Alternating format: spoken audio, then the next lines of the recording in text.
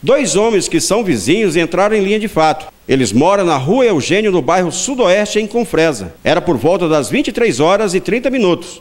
Na briga, o senhor Lindomar Dias Gabriel, de 34 anos, levou a pior. Foi atingido na cabeça com a barra de ferro e ficou caído no chão até chegar a equipe da ambulância, foi socorrido e levado para o hospital municipal. A polícia militar esteve no local. Essa briga já tinha acontecido mais cedo, né? É, quando ela aconteceu mais cedo, só foi uma discussão entre eles, né?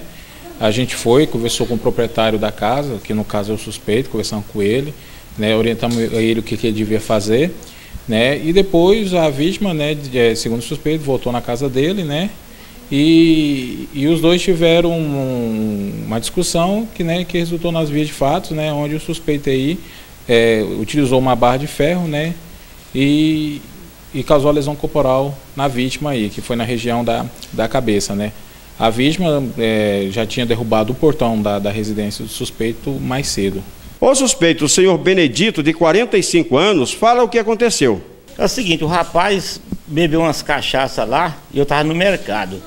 E ele pegou, derrubou meu portão, meteu os pés no portão, derrubou tudinho. O dono do mercado correu lá e falou, rapaz, faz isso não. E ele correu lá, pegou uma faca, correu atrás de mim. Aí eu vim atrás da PM, a PM foi lá, o policial, fui atrás da civil, tirou foto, depois ele voltou lá, me deu pedada aqui na cabeça, e eu perdi a cabeça dessas cacetadas nele. O que é meu é meu, não há para ninguém, e acabou-se. Você é uma pessoa trabalhadora, né? Sou operador de máquina, todo mundo que me conhece, tem 17 anos que eu moro em Confresa. Se a maioria das pessoas soubesse que eu estou passando, eu não estava aqui não. Porque eu não sou bandido, eu sou trabalhador, todo mundo gosta de mim. Eu não sou bandido, todo mundo gosta de mim, Hilário. Você mesmo sabe, você me conhece aqui há poucos tempos.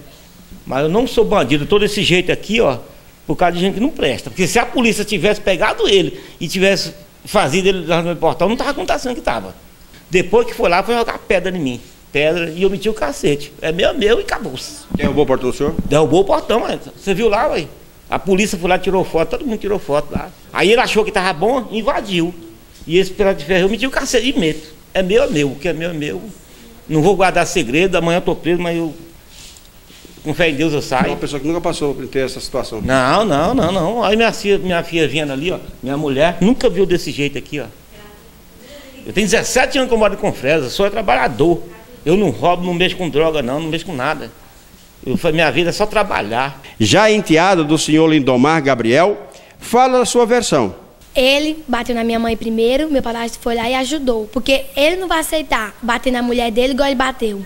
E falou de matar minha mãe também. Falou, vem aqui pra me te matar. Também ele foi errado porque ele foi lá, quebrou o portão. Mas uma coisa, ele também não ia aceitar dos outros bater na mulher dele igual ele fez.